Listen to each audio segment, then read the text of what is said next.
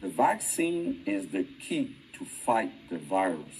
This is why we're looking uh, for a, a, health contribution for adults who refuse to be vaccinated for non medical reasons. Those who refuse to receive their first dose in the coming weeks will have to pay a new health contribution. I know the situation is tough, we can get through this together. We need to focus our efforts on two things getting the first, second, and third doses on vac- of vaccine and reducing our contacts, especially with older people. So I'm counting on you all. Thank you.